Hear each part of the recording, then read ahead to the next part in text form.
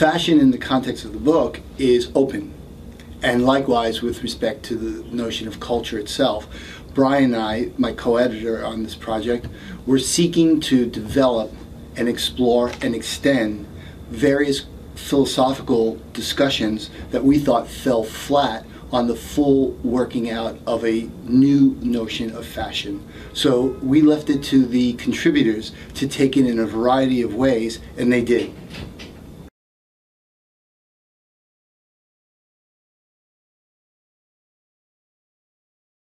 Over the last few years, Brian and I have been thinking, writing, and talking about a number of cultural phenomena that have been discussed by people other than philosophers, um, but also including philosophers that we felt were framed in a way that we wanted to further extend beyond the limits of strict academic discourse and also move beyond the limitation of a discipline like fashion studies itself. We wanted to mix it up.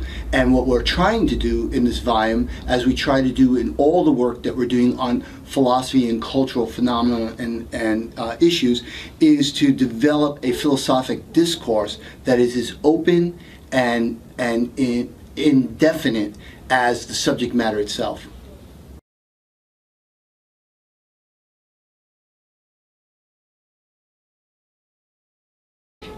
I would say that fashion as a field of studies is changing and becoming a discipline in a way that food studies, for example, has become a study of academics.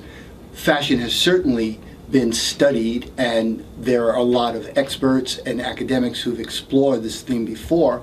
What we were attempting to do was reconsider the notion of fashion from a rigorous philosophical perspective, but one that was interdisciplinary by definition, and one that was not limited to that history of fashion studies, but part of the new wave of fashion studies.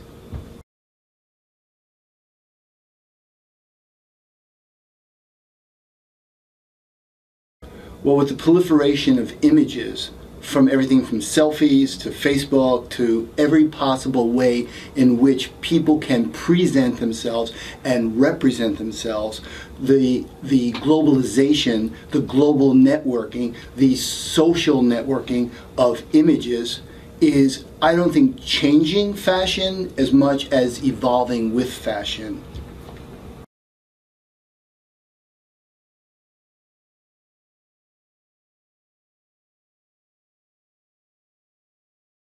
The short answer is yes, they have.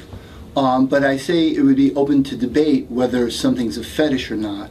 So something might be, in some cases, an obsession, a preference, a desire. Um, and so the word fetish evokes certain things that, in certain cases, I think would be an apt description of the relationship between those engaged in it and those on the other side of it.